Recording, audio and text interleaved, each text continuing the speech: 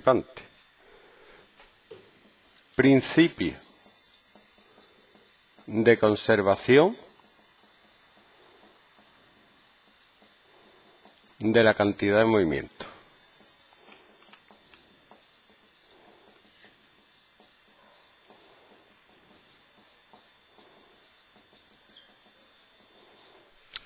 La cantidad de movimiento inicial de un sistema es igual a cantidad de movimiento final, sin otras fuerzas externas, claro. Esta fórmula sirve cuando hay dos cuerpos. Cuando chocan dos cuerpos es cuando la vamos a usar. Entonces, la podemos expresar de esta manera. Cuando hay dos cuerpos, la cantidad de movimiento inicial sería la masa del primero por la velocidad inicial del primero más la masa del segundo por la velocidad inicial del segundo. Y eso sería la masa del primero por la velocidad final del primero más la masa del segundo por la velocidad final del segundo.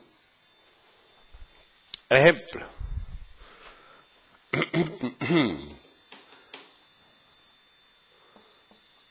Una bola de billar de 100 gramos de masa, de 0,1 kilogramos, va a 5 metros por segundo. Golpea a otra igual y se queda paradita.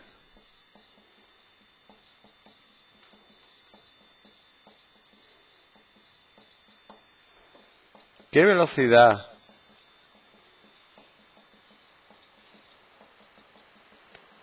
tiene la otra bola después del choque?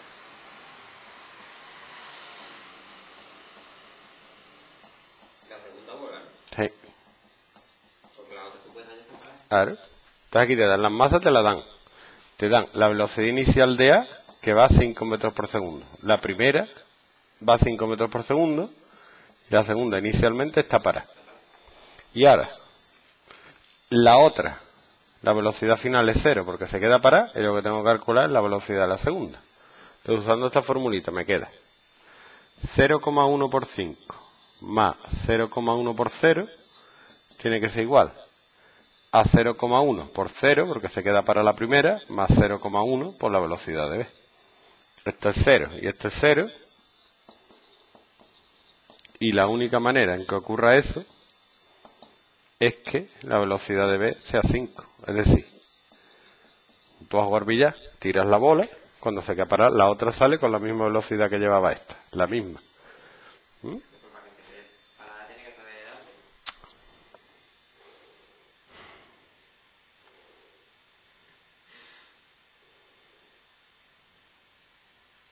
Se lo pago. No huevas. ¡Pum! Queda parado. Tú porque no sabes, tío. No has jugado billar tú mucho.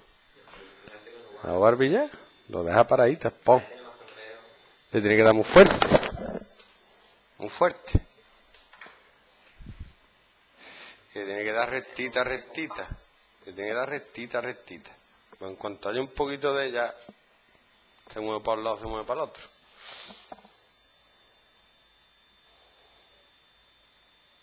Fácil, ¿no? Vale. Pues ahora vamos a suponer que la segunda bola sale para atrás. ¿Vale? Y se queda la. primera. Golpea otra igual y, y se desplaza hacia atrás con una velocidad de 2 metros por segundo. ¿Qué velocidad coge la otra bola? La masa aquí no vale para nada, pero hay que ponerla. Velocidad inicial de A, 5 más la masa de B por la velocidad inicial de B, que es 0, está para A, es igual a la masa de A, que es 0,1, por la velocidad final de A, que si va para atrás es negativa, menos 2, más 0,1 por, no sé, lo que tengo que calcular.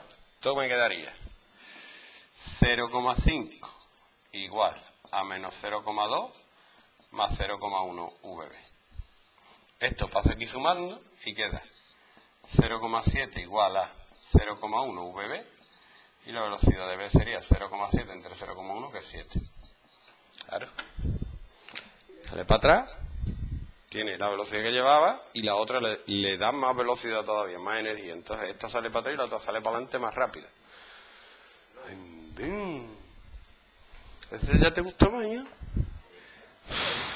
Es que, que- que está aquí para todo. Venga.